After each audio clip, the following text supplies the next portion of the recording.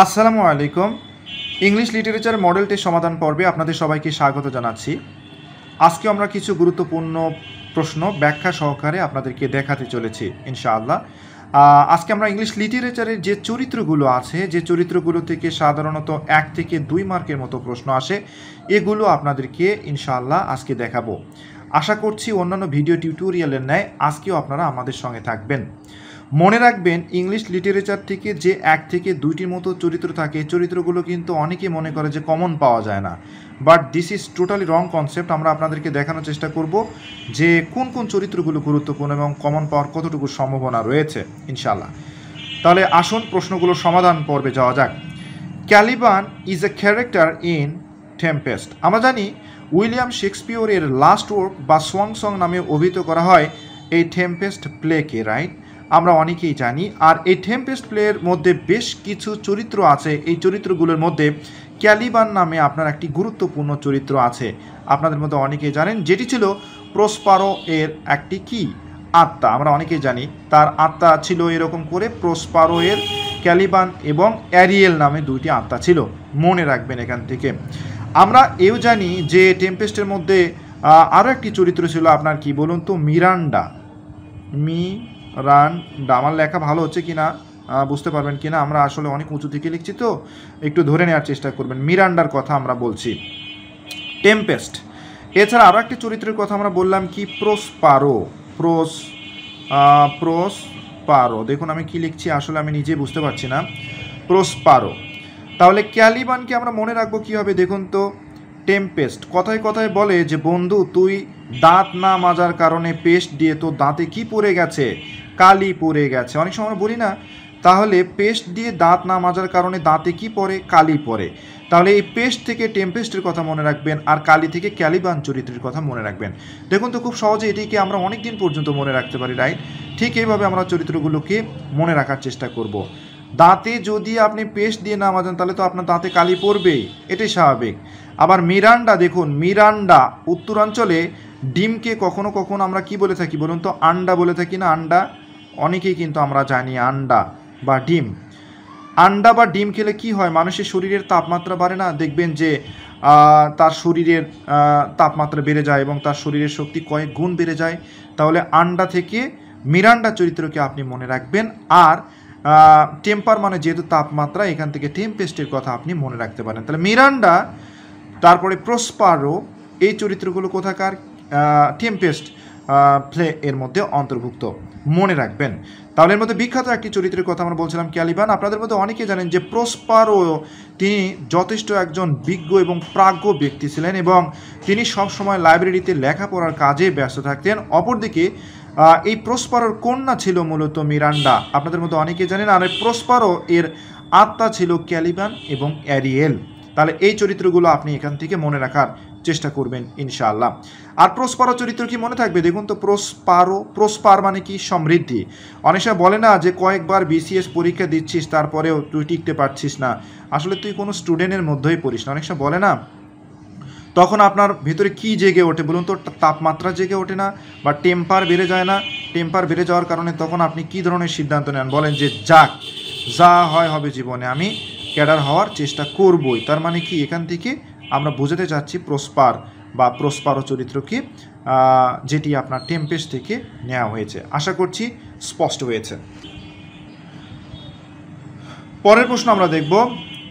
Brutus is a famous character of Shakespeare in Julius Caesar আমরা অনেকেই জানি যে জুলিয়াস সিজারের খুব ভালো একজন বন্ধু ছিল, কে বলুন তো ব্রুটাস কিন্তু পরবর্তীতে জুলিয়াস সিজারকে হত্যার পেছনে ব্রুটাসের হাত রয়েছে বলে অনেকেই ধারণা করে থাকেন, আমরা কিন্তু এটিও জানি রাইট তাহলে ব্রুটাস কোথা থেকে নেওয়া হয়েছে? জুলিয়াস।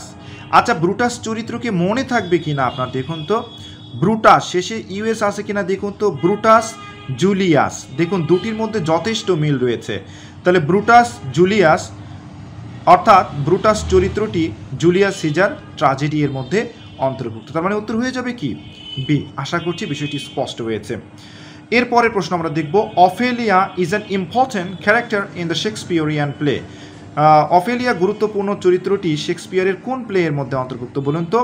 হ্যামলেট ট্রাজেডির মধ্যে কিন্তু অন্তর্ভুক্ত রাইট হ্যামলেট ট্রাজেডির মধ্যে বেশ কিছু চরিত্রের কথা আমরা আপনাদেরকে আগেই বলেছিলাম, বিশেষ করে কিং হ্যামলেট যাকে বলা হয় প্রোটাগনিস্ট ইংরেজি সাহিত্যে বা কেন্দ্রীয় চরিত্র।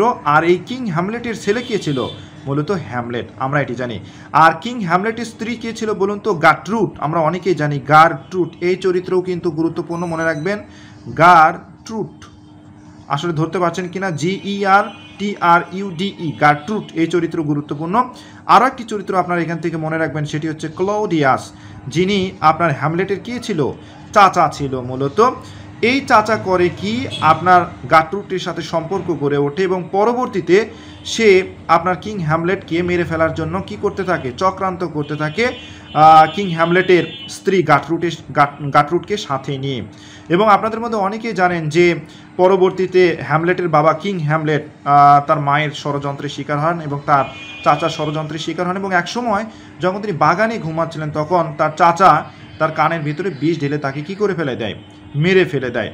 এবং উইলিয়াম শেক্সপিয়রের এই হ্যামলেট ট্রাজেডির থেকেই বিসিএস প্রিলিমিনারি পরীক্ষায় কিন্তু বেশ কয়েকবার প্রশ্ন এসেছে। মনে রাখবেন, আর এই চরিত্রগুলো খুবই গুরুত্বপূর্ণ। একটি হচ্ছে গাট্রুট কে ছিল? হ্যামলেটের মা ছিল। আর হ্যামলেটের বাবার নাম কি ছিল? কিং হ্যামলেট ছিল।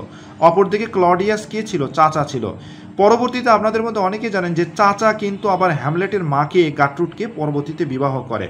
আপনাদের মধ্যে অনেকেই জানেন, রাইট? আর এই অফেলিয়া চরিত্রটি ছিল মূলত হ্যামলেটের নায়িকা।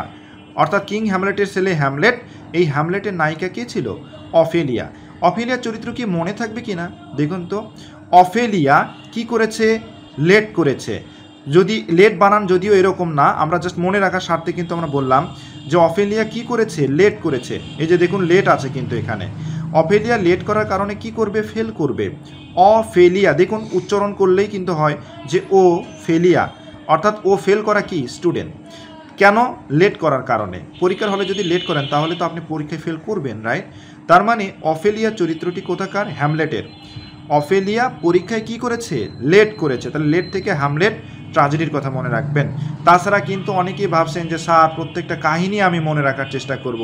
মনে রাখবেন, আপনি ইংলিশ লিটারেচারের ব্যাকগ্রাউন্ডের স্টুডেন্ট না, আপনার চরিত্রগুলোকে মনে রাখা আপনার জন্য অনেক বেশি কঠিন হবে। বাট আপনি যদি এই রকম করে পড়াশোনা করার চেষ্টা করেন, ইনশাআল্লাহ, তাহলে দেখবেন খুব সহজে এই প্রশ্নগুলোকে আপনি আয়ত্ত করতে পারবেন এবং চরিত্রগুলোকে মনে রাখতে পারবেন। তাহলে এই চরিত্রগুলো মনে রাখবেন। আর একটি তথ্য আপনাদের জ্ঞাতার্থে জানিয়ে দিচ্ছি যে হ্যামলেট ট্রাজেডি থেকে যে কোটেশনসগুলো আছে, এই কোটেশনগুলো আপনার পরীক্ষার জন্য মোস্ট ইম্পর্টেন্ট বা গুরুত্বপূর্ণ।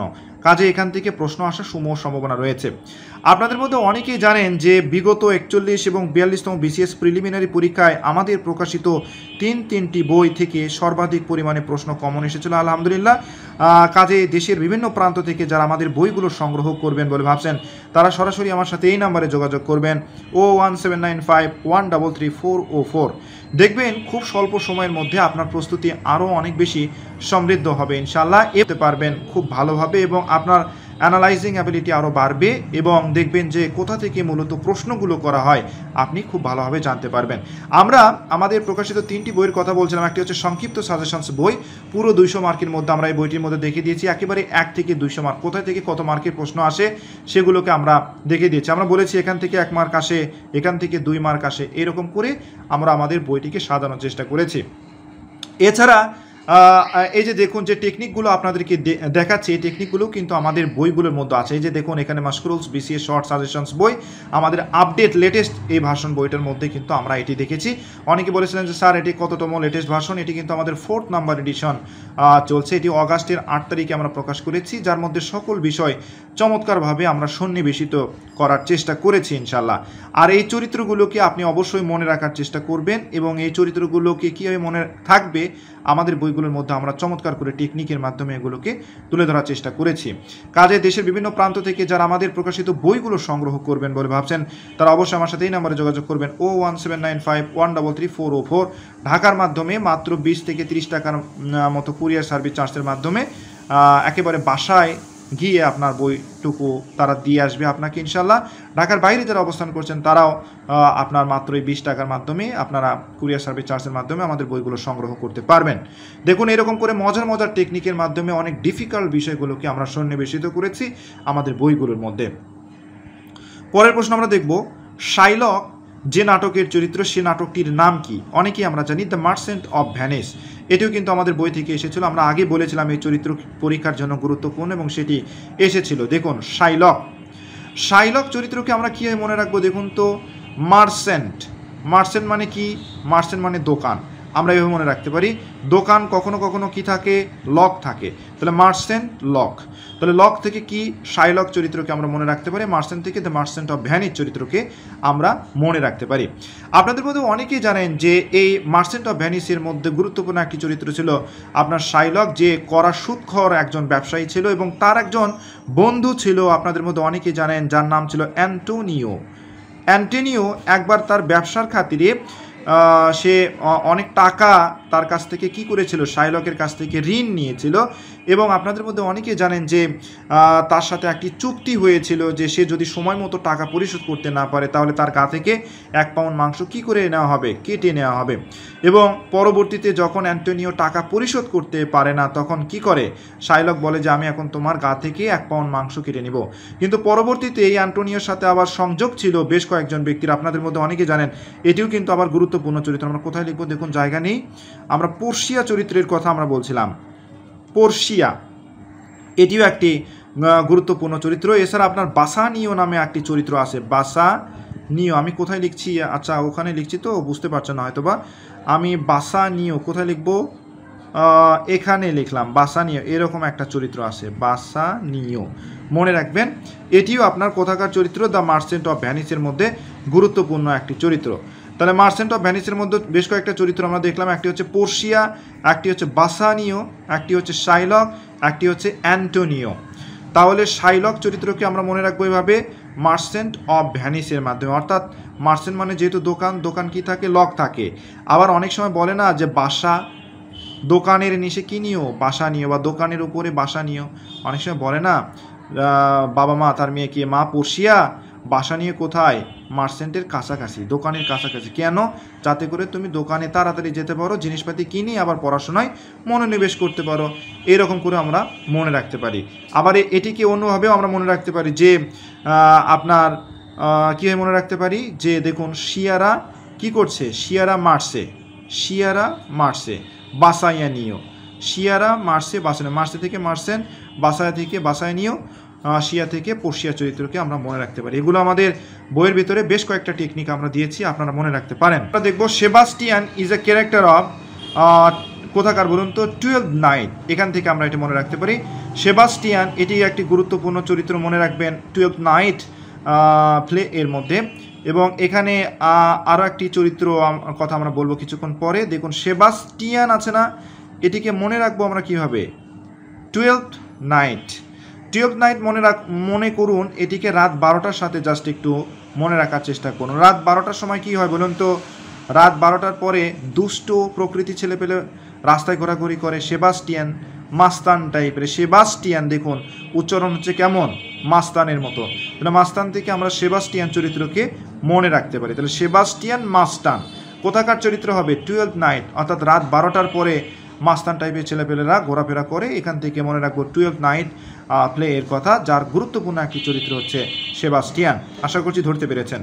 পরের প্রশ্ন আমরা দেখব which one of the following is not a character of King Lear King লিয়ারের আপনার কোন চরিত্রটি নিচের অপশনগুলোর মধ্যে অন্তর্ভুক্ত নয়, বলুন তো? আমরা জানি মারিয়া। এর মধ্যে গনেরিল রিগ্যান এরপরে এডমন, এই চরিত্রগুলো আপনার কিং লিয়ারের মধ্যে কিন্তু অন্তর্ভুক্ত ছিল, আমরা অনেকেই জানি। এর মধ্যে গনেরিল চরিত্রকে অনেকে মনে রাখতে পারে না, আমরা একটু দেব টেকনিক দেখুন, এই টেকনিকের মাধ্যমে খুব সহজে মনে রাখতে পারবেন। কথায় কথা আমরা অনেক সময় বলি না যে গণকেরা কি কথা বলে? গণকেরা অনেক সময় আন্দাজে কথা বলে, যার কারণে কি হয়? মিথ্যা হয়ে যায়। লেয়ার দেখুন লিয়ার কিং লিয়ার গণকেরা কি কথা বলে? মিথ্যা কথা বলে। মিথ্যা কথা বলে। বা গণকদের সকল কথা কি হয়? মিথ্যা হয়। এখান থেকে আমরা মনে রাখব এই গণেরিল চরিত্রকে। গণকেরা সবসময় কি কথা বলে? মিথ্যা কথা বলে। লেয়ার দেখুন লেয়ার লায়ার মানে মিথ্যাবাদী। আমরা জাস্ট ওইরকম করে মনে রাখার চেষ্টা করব, একটু তুলনা করে। আশা করছি বিষয়টি স্পষ্ট হয়েছে। তার মানে গনেরিল চরিত্রটি কিং লিয়ার ট্রাজেডির মধ্যে অন্তর্ভুক্ত। আশা করছি বিষয়টি স্পষ্ট হয়েছে। আপনাদের মধ্যে অনেকে জানেন যে এই কিং লিয়ার ট্রাজেডির মধ্যে কিং লিয়ার কিং লিয়ারের আপনার তিনটি মেয়ে ছিল। একটি হচ্ছে গনেরিল একটি রিগান, আর একটি হচ্ছে করডেলিয়া এই তিনটা মেয়েকে একদিন রাজা বলল যে, মা, তোমরা আমাকে কতটুকু ভালোবাসো? গনেরিল এবং রিগান তাকে তার স্বামী সহ বলল যে, আমরা আপনাকে অনেক বেশি ভালোবাসি। কিন্তু পরক্ষণে তার ছোট মেয়ে যখন করডেলিয়া বলল যে, বাবা, আমি তোমাকে যদি সব চাইতে বেশি ভালোবাসি, তাহলে আমার স্বামীর জন্য কি থাকবে? বা আমি যদি সব কিছু তোমাকে দিয়ে দিই, তাহলে আমার স্বামীর জন্য কি থাকবে? এই কথা বলেছিল। তখন রাজা কিং লিয়ার তার উপর খেপে গিয়েছিল এবং তাকে কি করেছিল? রাজ্য থেকে বের করে দিয়েছিল। অপরদিকে গনেরিল এবং রিগানকে রাজা তার সবগুলো সম্পদ কী করে দেয়? বন্টন করে দেয় এবং পরবর্তীতে গনেরিল এবং তার স্বামী যখন রাজা আবার সেখানে হস্তক্ষেপ করা শুরু করল, তখন কি করল? তাকে সেখান থেকে বের করে দিল। কাকে? কিং লিয়ারকে। আপনাদের মধ্যে অনেকে জানেন।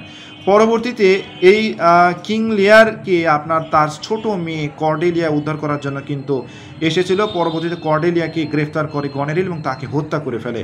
আপনাদের মধ্যে অনেকেই জানেন, এটি এটি ছিল একটি সংক্ষিপ্ত কাহিনী। এই কাহিনীগুলোর মধ্যে এই চরিত্রগুলোকে আমরা চমৎকার করে তুলে ধরেছি।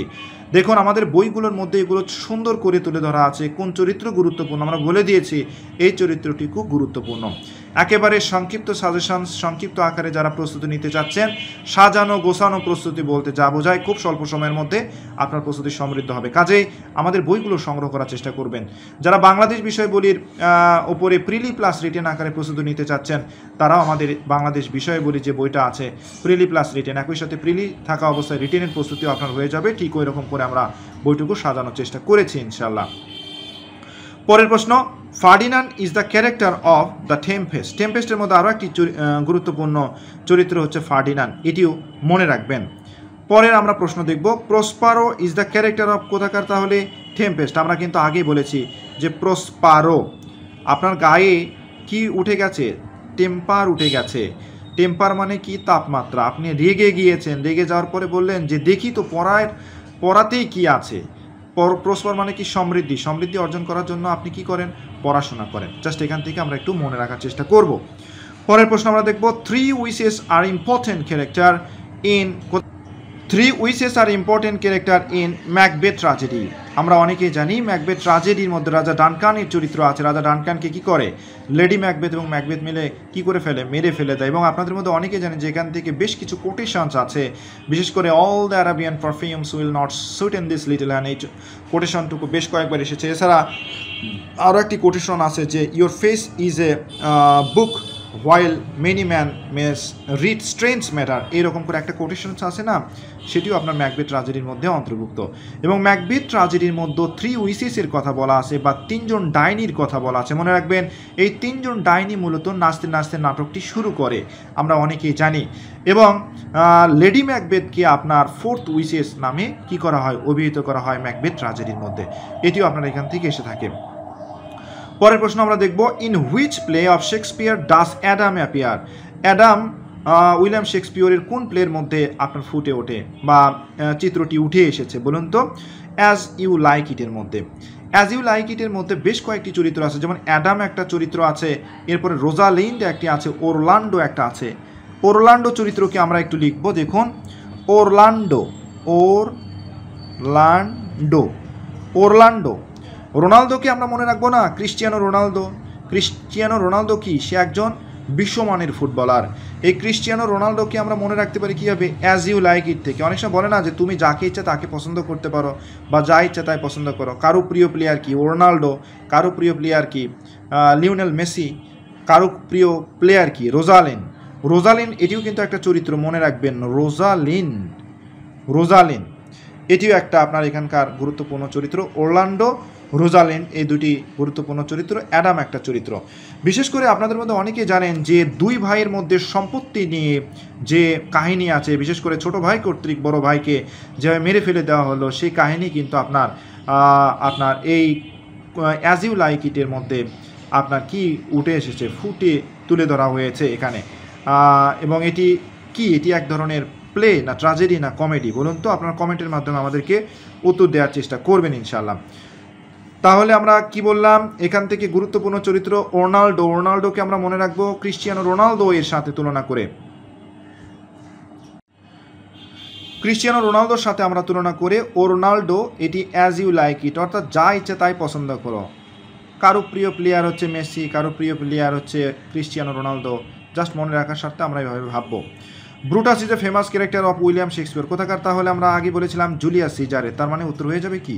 সি পরের প্রশ্ন আমরা দেখব করডেলিয়া। দেখুন, Cordelia is a character of কোথাকার?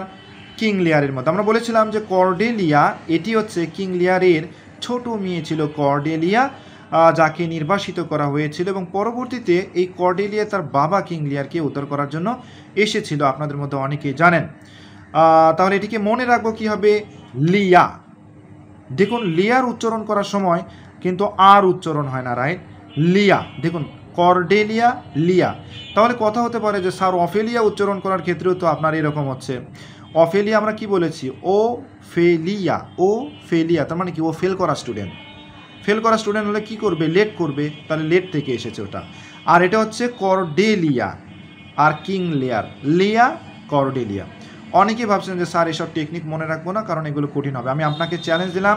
পরীক্ষার হলে যাবেন, আপনার আপনার এই চরিত্রগুলো মনে থাকবে না। আপনি শুধুমাত্র অন্ধের মতো পড়েন কি হবে ব্রুটাস চরিত্র জুলিয়া সিজারের ব্রুটাস চরিত্র জুলিয়া সিজারের ব্রুটাস চরিত্র জুলিয়া সিজারের কিন্তু মনে রাখতে পারে না। কথা তো একটি পড়ার মতো করে পড়তে হবে যেন এটি আজীবন মনে থাকে। পড়া তো তাকেই বলে যেটি একবার পড়ে আজীবন মনে থাকে। তাছাড়া আপনি পড়াশোনা করছেন না। এগুলো জাস্ট পরীক্ষায় ভালো ফলাফল করার জন্য পড়ছেন। পরীক্ষায় আপনার বমি করে দিয়ে আসার পরে যদি আপনাকে কেউ বলে যে ব্রুটাস কোথাকার চরিত্র? তখন আপনি আর বলতে পারেন না। তখন আপনার কিন্তু মান সম্মান ধুলোই কি হবে? পর্যবসিত হবে। পরের প্রশ্ন আমরা দেখব, Helen is the character of the Iliad ইলিয়াডের মধ্যে আপনাদের মধ্যে অনেকে জানেন যে হোমারের বিখ্যাত একটি মহাকাব্য হচ্ছে ইলিয়াড, যেখানে গ্রিসের কাহিনী তুলে ধরা হয়েছে এবং এখানে হ্যালেন অফ ট্রয়ের একজন নারীকে কেন্দ্র করে মূলত যে যুদ্ধ সংগঠিত হয়, সেই যুদ্ধের কাহিনী ইলিয়াড মহাকাব্যের মধ্যে কে তুলে ধরেছেন? হোমার তুলে ধরেছেন। আপনাদের মধ্যে অনেকে জানেন যে হেলেন ট্রয় নগরীর একজন বিখ্যাত নারী ছিলেন এবং রানী ছিলেন এবং তাকে কেন্দ্র করে যে যুদ্ধ সংগঠিত হয়েছিল, তারই কাহিনী এখানে তুলে ধরা হয়েছে। এই চরিত্র অনেকে আসলে ভুলে যায় না, কারণ অনেকে সিনেমা দেখেছে তো ইংরেজি সিনেমা, সেই সিনেমার মধ্যে দেখবেন যে হেলেন চরিত্র কিন্তু ফুটে উঠে এসেছে। সেখান থেকে আপনি মনে রাখতে পারেন। পরের প্রশ্ন আমরা দেখব, Juliet is the character of Measure for Measure মনে রাখবেন জুলিয়েট, রোমিও অ্যান্ড জুলিয়েটের মধ্যে জুলিয়েট একটা কিন্তু চরিত্র ছিল। সেখানে কিন্তু এখানে অপশন নাই। দেখুন যে King Lear Tempest Measure for Measure, Othello. এর মধ্যে কিন্তু রোমিও অ্যান্ড জুলিয়েট ট্রাজেডি নেয় যদি সেটি না থাকে, তাহলে মেজার ফর মেজারের মধ্যেও কিন্তু জুলিয়েট নামে একটি ক্যারেক্টার আছে। সেখান থেকে আপনার মনে রাখতে হবে। তাহলে সেখান থেকে খুব সহজে মনে রাখতে পারি, মেজার ফর মেজার। কোথাকার চরিত্র কোথা থেকে নেওয়া হয়েছে চরিত্রটুকু? জুলিয়েট চরিত্রটুকু নেওয়া হয়েছে মেজার ফর মেজার থেকে। আশা করছি বিষয়টি স্পষ্ট হয়েছে। পরের প্রশ্ন আমরা দেখব। আসলে অনেক তাড়াতাড়ি আজকে কথা বলার চেষ্টা করছি তো। বেশ কিছু কাজ রয়েছে, এই জন্য অনেক দিন হয়ে গেল আপনাদের মাঝে আসি না বিধায় আমরা আবারও আসলাম অনেকের রিকোয়েস্টে পরের প্রশ্ন আমরা দেখব Jessica is the character of Jessica কোথাকার ক্যারেক্টার বলুন তো দ্য মার্সেন্ট অফ ভ্যানিসের বিখ্যাত একটি চরিত্র কোনটি? জেসিকা এটিকে মনে রাখা যাবে কীভাবে দেখুন তো, খুবই সহজ। দেখুন, মজা করে আমরা আমাদের বইয়ের মধ্যে এগুলো দিয়ে দিয়েছি। চমৎকার করে মনে রাখতে পারবেন সকল বিষয়কে সহজ সহজ টেকনিক রিয়েল লাইফের সাথে তুলনা করে আমরা এগুলো তৈরি করেছি। কাজে বইগুলো সংগ্রহ করার অনুরোধ জানাচ্ছি আপনাদেরকে। দেখবেন যে জার্সি জেসিকা জার্সি জার্সি কোথায় পাওয়া যায়? মার্সেন্ট মানে কি দোকান? দোকানেই তো জার্সি পাওয়া যাবে। জেসিকার উচ্চারণ? জার্সির মতো হচ্ছে না। জার্সি কোথায় পাওয়া যায়? মার্সেন্ট মানে দোকানে। দ্যাট মিনস জেসিকা চরিত্র মার্সেন্ট অফ ভ্যানিসের খুবই গুরুত্বপূর্ণ। Helen of Helen of Troy was the wife of Menelaus. আমরা অনেকেই জানি এটা যেহেতু ওখানকার কাহিনী, ওখান থেকে আমরা খুব সহজে মনে রাখতে পারি। মেলেনাস ছিল আপনার হেলেন অফ ট্রয়ের কি? ওয়াইফ ছিল। Melaena Helen of Troy was the wife. কার ছিল ওয়াইফ? মেলেনাসের ওয়াইফ ছিল হেলেন অফ ট্রয়। জি, আজকেও আমরা তাহলে কিছু গুরুত্বপূর্ণ চরিত্র আপনাদেরকে দেখানোর চেষ্টা করলাম ইনশাল্লাহ এই রকম করে চরিত্রগুলোকেও যে টেকনিকের মাধ্যমে মনে রাখা যায়, বারবার বলছি, চরিত্র থেকে এক থেকে দুই মার্কের মতো প্রশ্ন আসবে। মনে রাখবেন ইংলিশ লিটারেচার থেকে যে পনেরো মার্কের প্রশ্ন আসে, অনেকেই জানে না এই প্রশ্নগুলো কোথা থেকে করা হয়। আমরা আমাদের বইগুলোর মধ্যে চমৎকার করে এগুলো দেখে দিয়েছি। এখান থেকে এক মার্ক আসে, এখান থেকে দুই মার্ক আসে। একেবারে মার্ক বাই মার্ক আমরা দেখানোর চেষ্টা করেছি। আমরা আগামী ভিডিও টিউটোরিয়ালে খুব অল্প সময়ের মধ্যে আপনাদের মাঝে হাজির হওয়ার চেষ্টা করব ইনশাল্লাহ আশা করছি সে পর্যন্ত সবাই ভালো থাকবেন, সুস্থ থাকবেন। আর আপনাদের প্রতি একটি রিকোয়েস্ট জানাচ্ছি, এই করোনা তথা মহাসংকটকালীন সময়ে করোনার হাত সবার পেছনে আপনারা বাড়ায় দেবেন। সবাই মহান আল্লাহ রাবুল আলমিনের কাছে বেশি বেশি দোয়া করবেন, যেন আল্লাহ রাবুল আলমিন এই করোনা ভাইরাস আমাদের মাঝে খুব স্বল্প সময়ের মধ্যে আমাদের মাঝে থেকে উঠায় নিয়ে বিশ্ববাসীকে নাজাত বা মুক্তি দেন।